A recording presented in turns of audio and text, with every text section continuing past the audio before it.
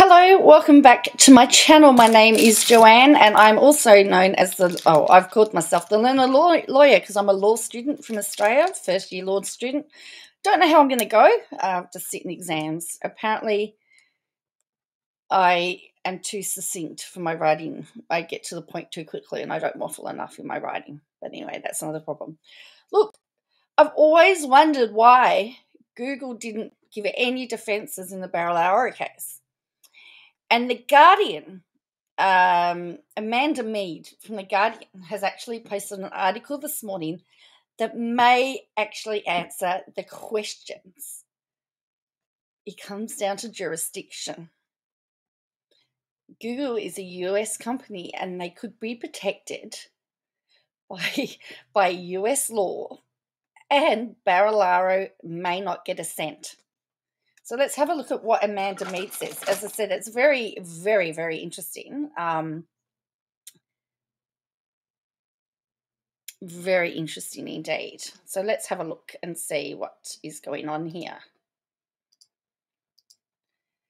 So, powerful US laws could shield Google from paying John Barilaro defamation damages, says expert. So, Australian courts may not be able to enforce an order that Google pay John Barilaro because of free speech protections in the US. Uh, Google, the owner of YouTube, was on Monday ordered to pay. So we know that they were ordered to pay aggravated damages over a series of defamatory, racist, abusive videos. Federal Court Justice Steven Rares ruled that Barilaro had been left traumatized by a campaign of relentless cyberbullying by Shanks, who uses the nom de plume friendly joinings. Dr. Damien Spry, an expert in social media impacts on politics and diplomacy, says there are a couple of very powerful American laws that protect US based internet companies from defamation penalties. The important point is Google can try to ignore the court ruling because US laws provide a shield US companies can hide behind. What is Google, what is what Google is going to do is the big question. I think it's consequential to, to agree if Google abides by the court ruling, and that's a big if, they've kind of accepted local jurisdiction. It comes down to this jurisdiction. Obviously, they can afford to pay the money, but they can't afford to be dragged into court over and over again. So if they pay this, then it's open slather. They could be sued multiple times so, Professor Ralph uh, David Rolph, a media law expert at the University of Sydney, said the Barilaro case is the first time in Australia that YouTube as a platform has been held liable for users' content. But what happens next is uncertain because Australian courts don't necessarily have jurisdiction to enforce judgments against US based companies. Certainly in the US, there are companies where these companies are based have different defamation laws. The difficulty is that you have these companies that operate throughout the world that have persuasive technologies, uh, sorry, yeah, persuasive technologies and platforms that pervade everyday life. Pervasive, sorry, technologies and platforms that pervade everyday life. But the question then becomes locally is that particular multinational entity amenable to a local court's jurisdiction? And even if it is, there's a judgment that results from that proceeding. Can you enforce the judgment?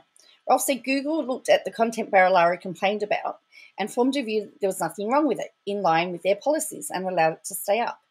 But the High Court in the Dylan Voller defamation case found that publishers could be held liable for defamatory comments on their social media pages. The content policies of those large media companies are informed very much by the First Amendment values, which creates a tension with laws that apply in other places around the world, like Australia. And that's how you ha- can have a situation where Google looked at content and concluded it doesn't volatile, volatile, or sorry, violate it, their content policies. Just as Justice Rares looks at it and concludes that it's very defamatory. Barilaro launched legal action over both Shanks and Google over two videos, videos titled bruz and Secret Dictatorship, claiming they were vile and racist and brought him into public disrepute, odium, ridicule, and contempt. The claim against Shanks was settled in November last year, and Shanks apologised for any hurt caused, editing parts of two videos and paying legal costs but not damages. Google initially defended the case, but withdrew all defences and conceded the videos defamed Barilaro. Spry says one of the two things that's going to happen in this landmark, landmark case. Google Australia sees itself as being Google Australia and acts as Google Australia and abide by Australian laws, or Google based in America says nothing and just refuses. Justice Rares also referred the conduct of Shanks and Google to the principal registrar of the court to consider proceedings against them for what appears to be serious contempt. He said Friendly Jordy's video in December attacking the professional integrity of Barilaro's legal team was a spasmodic and vindictive attack calculated to bring in pressure to intimidate each of them from continuing to act from Barilaro. So here's the question. Here's my question to you. Does Google pay and open the floodgates for lots of litigation in Australia? Or do they do nothing and see what happens? Because, uh, and I said, there's Google Australia, but it's under the entity of the Google US. So do they do they do the jurisdiction thing and say Australian courts don't have jurisdiction?